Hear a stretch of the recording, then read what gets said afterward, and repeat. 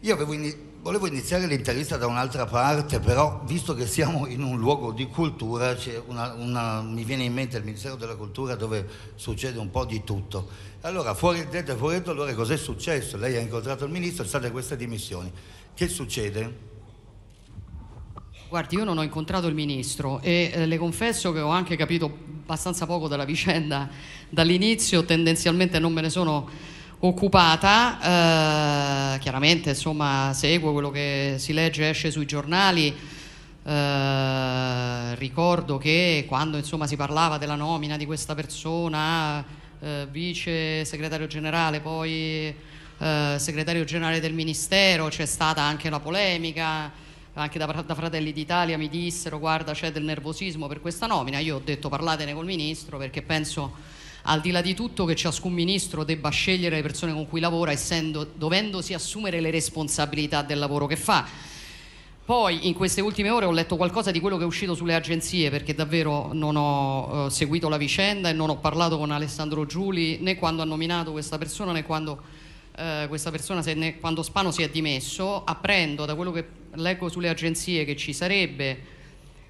una eh, sorta di una specie di conflitto, un presunto conflitto di interessi tra l'attuale appunto eh, dimissionario capo di gabinetto, chiedo scusa, non, non segretario generale, capo di gabinetto del ministro della cultura e un'altra persona che eh, risale al Maxi, risale ai tempi, da quello che ho capito, della gestione di Giovanna Melandri. Nessuna di queste persone è stata nominata da Alessandro Giuli e quindi sono, cioè, nel senso, bene,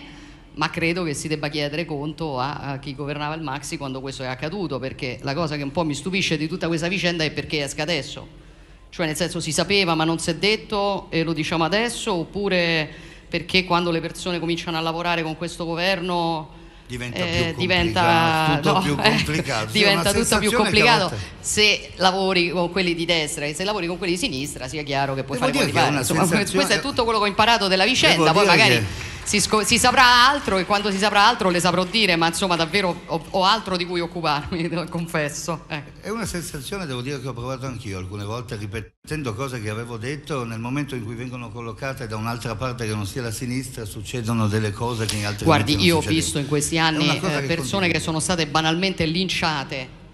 dopo che erano anche persone insomma, che in certi mondi erano state portate a punto di riferimento osannate per aver semplicemente detto